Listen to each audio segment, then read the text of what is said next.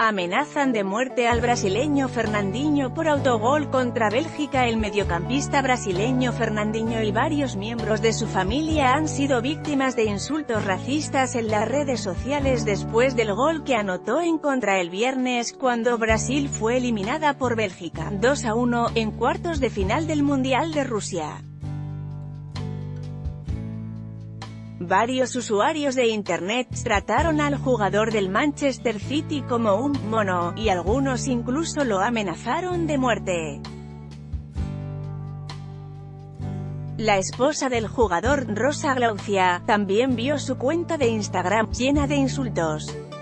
El vagabundo de tu marido lo echó todo a perder, publicó, por ejemplo, G barra baja.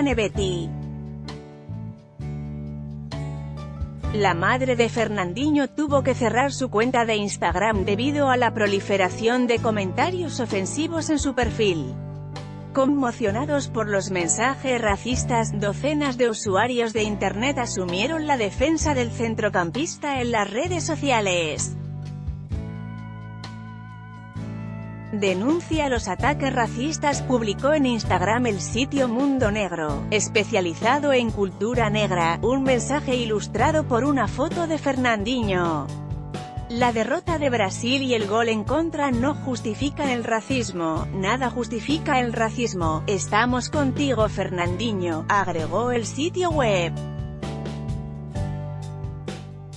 El viernes por la noche, Glenda Kozlowski, la famosa periodista de TV Globo, lloró frente a las cámaras, refiriéndose a la angustia de la familia del jugador, recordando que había grabado un programa especial con su madre.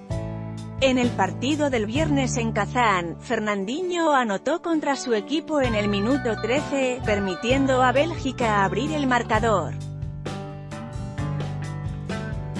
El jugador de 33 años ya había sido duramente criticado hace cuatro años, cuando Alemania ganó 7 a 1 a Brasil en las semifinales del Mundial 2014. Agencias